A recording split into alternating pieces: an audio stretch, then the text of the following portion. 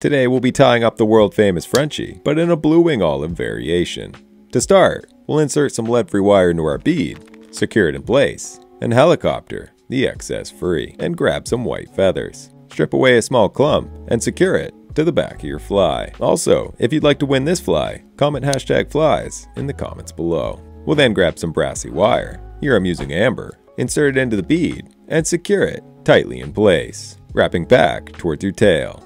At which point, we'll reverse our thread's direction back up to the head of the fly, beginning to wrap the wire forward in open spirals until we reach the head of the fly, at which point we'll secure, helicopter the excess free, and grab some holographic tinsel. Here I'm using silver. Secure this to the head of the fly, followed by some ice dubbing. Create a dubbing noodle, wrap this around the head of the fly, folding over your hollow tinsel, and this is a fly I like to use to imitate blue wing olives. Subscribe for more, and I will see you in the next one.